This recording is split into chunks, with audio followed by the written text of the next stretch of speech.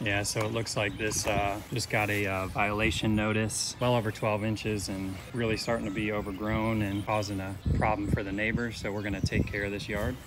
Hey, this is Justin from the Blessing Boys, and today we drove past this yard and it caught our eye because we saw the city violation sign sitting out front.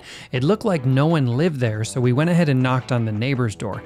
When she answered, she let us know that this yard has become a real danger because some homeless people started breaking into it and living inside, as well as even the shed in the backyard. She ended up having to call the police and get them to relock all the entryways on this home.